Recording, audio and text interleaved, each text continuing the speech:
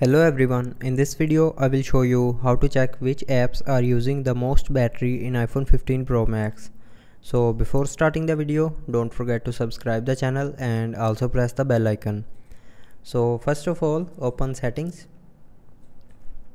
Now in settings, scroll down and click on battery.